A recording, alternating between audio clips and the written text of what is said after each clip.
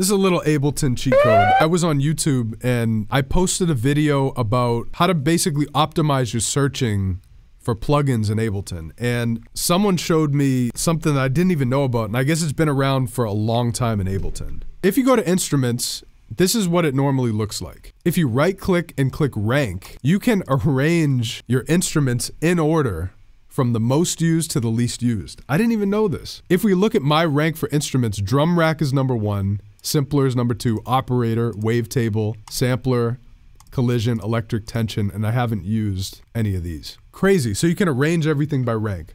Audio effects, same thing. MIDI effects. So arpeggiator is my favorite MIDI device. That's just a little something that I thought was interesting in Ableton.